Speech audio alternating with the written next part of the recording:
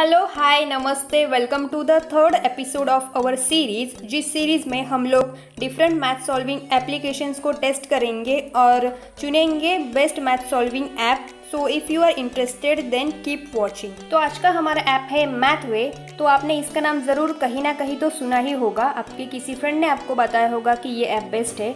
और आपने यूट्यूब पे किसी वीडियो के थंबनेल पे देखा होगा कि ये ऐप है बाप ऑफ़ मैथ्स और पता नहीं क्या क्या सुना होगा.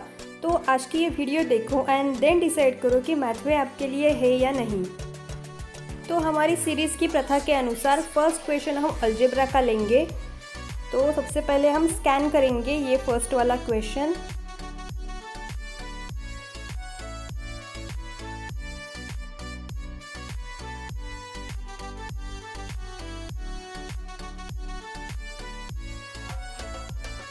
देन इसने डिटेक्ट कर लिया है प्रॉब्लम को. देन इस एरो को हम क्लिक करेंगे. तो यहाँ पे आता है इस ऐप का एक अजीब सा फीचर एक्सप्रेशन टाइप करने के बाद आपको क्वेश्चन इस लिस्ट में से एक चुनना पड़ेगा.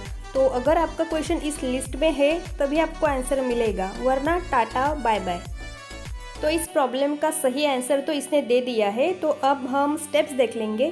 तो यहाँ पे आता है सबसे बड़ा क्लाइमैक्स इस ऐप में आपको सिर्फ़ आंसर मिलेगा.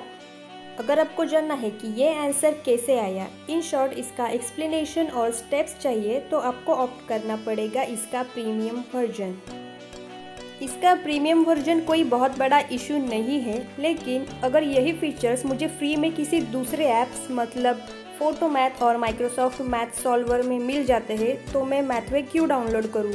तो पिछले फ़ोटो मैथ और माइक्रोसॉफ्ट मैथ सॉल्वर के वीडियो में आपने देखा होगा कि वहाँ पे हमें आंसर विथ एक्सप्लेनेशन मिल जाता है।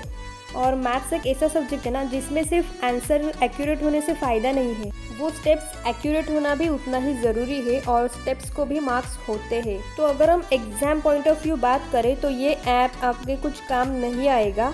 इन केस ऑफ़ एमसीक्यू जिसमें आपको सिर्फ़ एक्यूरेट आंसर चाहिए होता है तो उस केस में ये ऐप आप यूज़ कर सकते हो।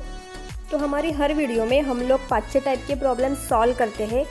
तो इस वीडियो में ऐसा नहीं होगा। हमने सिर्फ़ अल्जब्रा का एक प्रॉब्लम सॉल्व किया है। उसके बाद हमें ये पता लग चुका है कि इसमें ना ही कोई एक्सप्लेनेशन है और स्टेप्स है।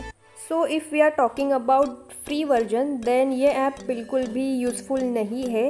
डाउनलोड करके कुछ फ़ायदा भी नहीं है।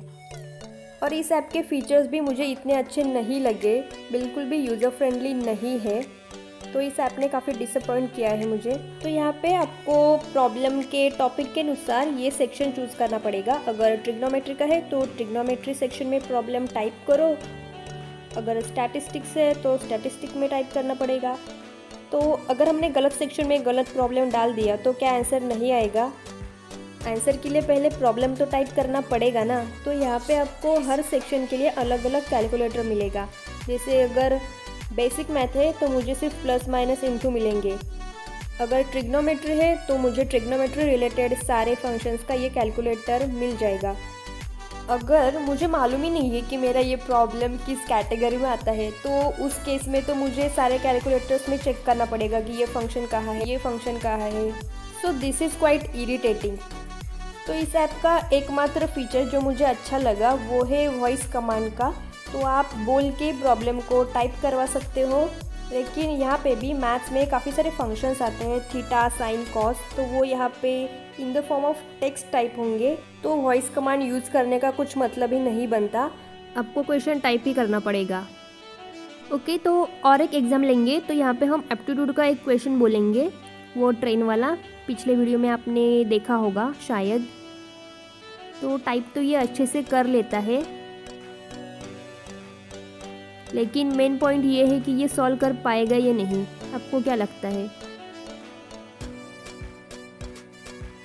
तो as usual I don't recognise this problem so it doesn't understand बड़े बड़े सेंटेंस ओनली एक्सप्रेशन के लिए यूज़ करो। इन ब्रैकेट अगर आपका सवाल उस लिस्ट में होगा तो। तो वीडियो यहाँ पे स्टॉप करते हैं। इस ऐप के बारे में मुझे और कुछ ज़्यादा नहीं बोलना है। काफ़ी डिसअपॉइंट किया है इस ऐप ने मुझे। फिर भी मेरे इफ़र्ट्स के लिए वीडियो को एक लाइक ज़रूर कर देना और यहाँ पे आपको फ़ोटो मैथ और माइक्रोसॉफ्ट मैथ सॉल्वर का रिव्यू मिल जाएगा। तो आप इन वीडियो पे क्लिक करो और वो वीडियोस देखो। मिलते हैं नेक्स्ट वीडियो में। Take care and bye